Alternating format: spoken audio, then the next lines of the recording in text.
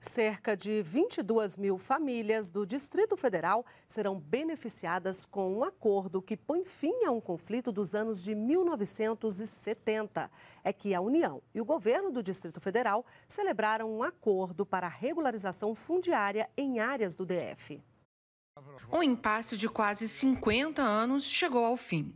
O acordo assinado entre a União e o governo do Distrito Federal permite a regularização da moradia de mais de 22 mil famílias. Para que as pessoas que moram nessa cidade, que são efetivos donos dos locais onde moram, que escolheram morar nesses locais, tenham em suas mãos os seus documentos de propriedade.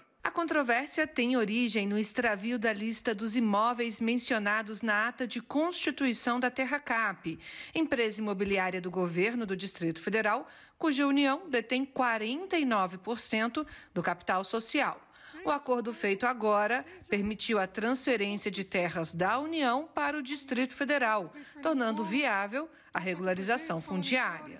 É o fechamento de um acordo muito importante para a União e para o Distrito Federal mas principalmente para uma parcela significativa de cidadãos de Brasília que há muitos anos aguardam a solução desse impasse. Faz parte do acordo a Fazenda Brejo ou Torto, onde fica a região de Vicente Pires, a Fazenda Contagem de São João, a Fazenda Sálvia e a Fazenda Sobradinho. As famílias de baixa renda, presidente, poderão receber as suas escrituras de graça com base no Estatuto das Cidades.